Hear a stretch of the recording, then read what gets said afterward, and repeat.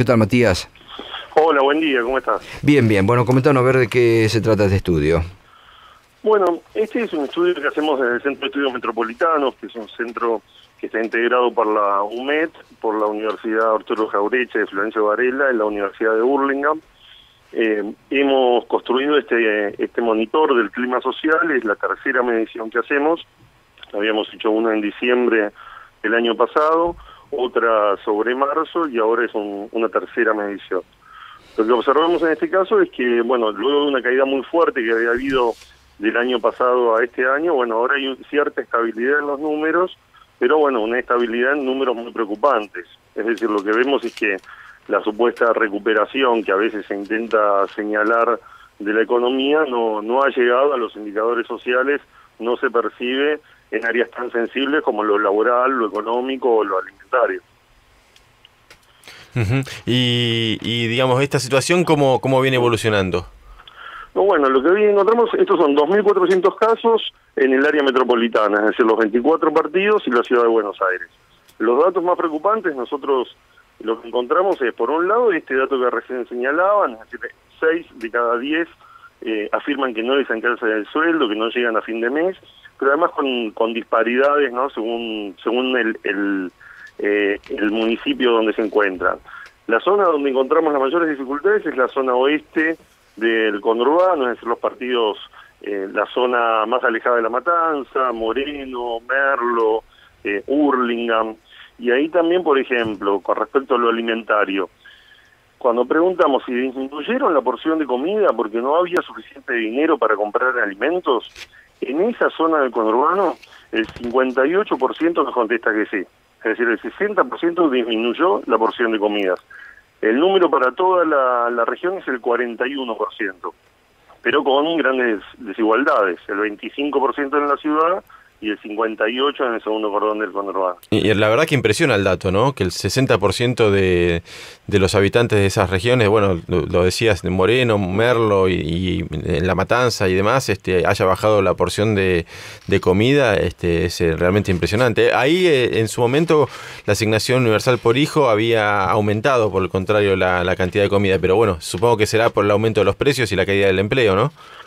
Sí, sí, claramente. Cuando fue la asignación por hijo, pese a algunos que señalaban, bueno, recordemos ¿no? que ese dinero iba así por la canaleta del juego de la droga, eh, todos los estudios, estudios internacionales eh, y, de la propia ANSES demostraron que ese dinero iba fundamentalmente a sostener la escolaridad de los chicos comprando eh, desde zapatillas hasta libros y, y fundamentalmente alimentos. en este caso, bueno, lo que vemos es esa gran desigualdad, pero es un 40%. Esto tiene que ver bueno con la caída, cuando uno ve la caída del consumo de, alimentos, fundamentalmente en, supermercados, pero también en, mercados de proximidad, este es el dato bueno que, que, impacta.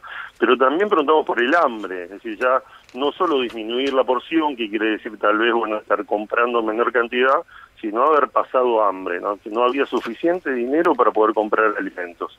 En este caso es el 23%, es decir, en el total de la región el 23% dice que alguna vez en el último año tuvo hambre.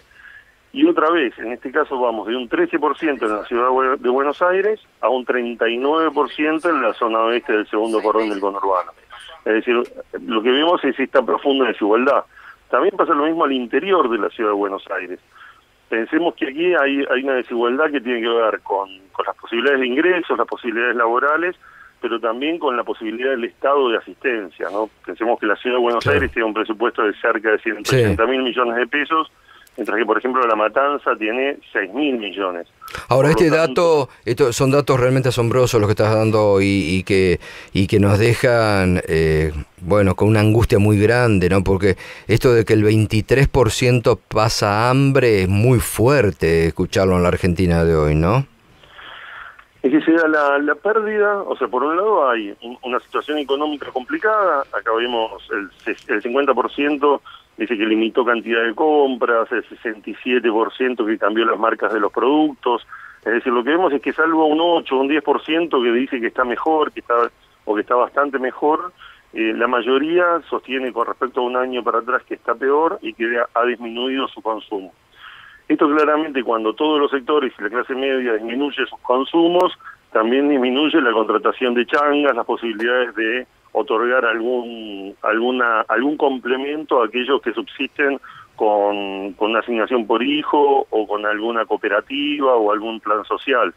Entonces esas personas que encuentran menos dinero en el circuito económico, si además encuentran un Estado que baja su asistencia, porque por más que uno sostenga, como lo han demostrado, por ejemplo, los relevamientos de, barrios de pie sobre los comedores del conurbano, si bien se puede sostener que se ha aumentado eh, el dinero para, para algunas de las viandas, ese dinero que llega a los comedores debe atender al doble o al triple de la población, por lo tanto ese aumento en realidad termina siendo una disminución de más del 50%.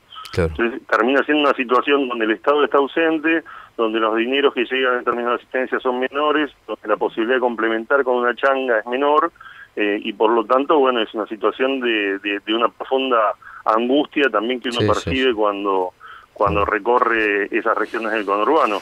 Pero después, bueno, la, gran desigualdad entre el norte y el sur de la ciudad, entre el norte del conurbano y el sur del conurbano, que bueno, también esto, bueno, uno le puede dar también eh, explicaciones en términos de la repercusión que ha tenido, por ejemplo, en las elecciones, ¿no? Con las diferencias entre unas regiones y otras. Totalmente. Bueno, Matías, eh, muchas gracias. Realmente para, para pensar, eh, para pensar, para seguir analizando, para seguir reflexionando, sobre todo que la realidad, la, la realidad que duele y que, que, que, se muestra está ahí y en, muy cerca de la capital federal y aún aquí en la capital federal también. Gracias, eh. Gracias, que tenga buen día. muchísimas gracias.